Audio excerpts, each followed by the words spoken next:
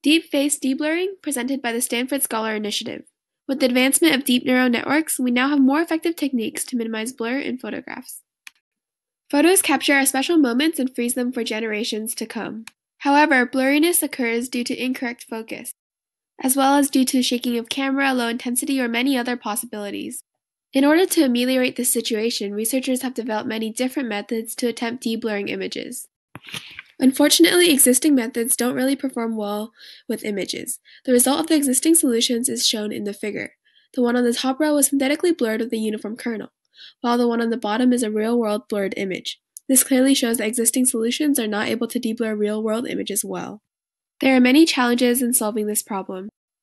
In the real-world imaging, various uncertainties can creep in, like lens saturation, depth variation, and lossy compression which cause the blurriness in the image. This increases complexity and makes the problem very difficult to solve.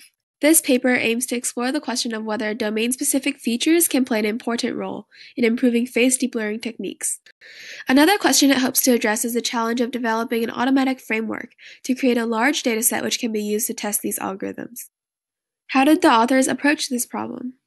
The authors trained a modified version of convolutional network ResNet, the modified network contains blocks. Each block is a sequence of convolutional layers followed by rectified linear units. All the max pooling operations were disabled, and skip connections were added in the second and third ResNet blocks. Batch normalization was added in every skip connection to ensure a common scale, and a loss function was applied to optimize the network while training. The authors also introduced an automatic framework which can collect a large dataset from videos in a semi-supervised manner. For training, the authors scraped thousands of videos from YouTube. To evaluate the result of the proposed system, the authors used standard visual quality metrics of PSNR and SSIM for Gaussian blur. The images were synthetically blurred with Gaussian noise and reproduced to check the model. For motion blur, 70 images of the AFLW dataset yielded a good result.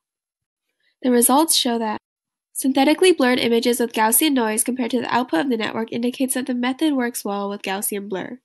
Another test result in which the author simulated the real-world blurred images shows that the proposed algorithm seems to be working similarly to other contemporary deblurring methods. Here are the comparisons among different methods for facial images. Additionally, to further emphasize the merits of the proposed method, there are images from internet sources in both indoors and outdoor scenes. The faces in those frames are of quite low resolution, while there is rapid movement in the scene. The qualitative results are visualized. Deblurring has many real-world applications. Identifying criminals in blurry images or video frames of crime and improving the quality of daily smartphone photos are but two of the many applications for this technology. Although this paper focused on an algorithm to deblur human faces in particular, such methods could also be explored for wildlife and nature photography, albeit with different domain-specific features. Based on the results, for Gaussian blur, the proposed method works well and for motion blur the result shows similar performance compared to other contemporary methods. For real-world blurred images, the result shows that the proposed method avoids over-smoothing and deblurs the texture in a decent way, but it suffers in localizing specific features like the iris of the eye. The authors also developed a framework to retrieve online images for training.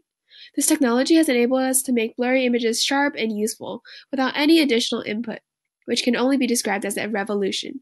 Pictures are not only worth a thousand words, but also have precious memories embedded into them. We can now better unlock these memories even if the quality is initially compromised. Thank you for watching. Please visit scholar.stanford.edu for more videos.